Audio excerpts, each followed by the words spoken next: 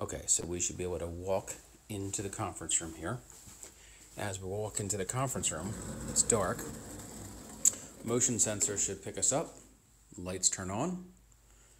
And on the screen wakes up and shows us a QR code and a room code.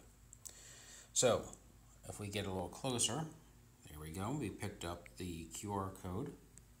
We open that up. And we see here what exactly we can do. So now what I'm going to do is press to control the room.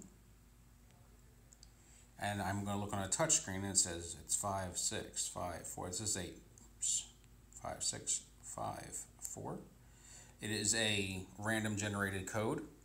Then I actually get all the controls for the room. I can turn the TV on, the whole system power, control the volume, mute, volume, speaker mute. You can also come over here to do phone control. You can see with the call state, the prompt, you can start typing numbers. You can delete a number, clear the whole thing. You can also come over here to lighting. And you can see the tray lights are on, but the ceiling lights are off. Then, when we're done, you go back to controls. Let's say we turn the system power on, right? Can't see is if I go back to the camera,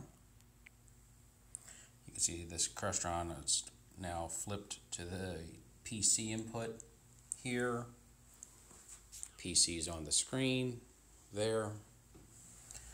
This naming is the same as what you'll see on the web page. Now you can see it went to rear 2. I can put it back to PC. And when I'm done, can hit system off. And as you can see, put it back to the QR code, the room's dark, and I can leave for the next person.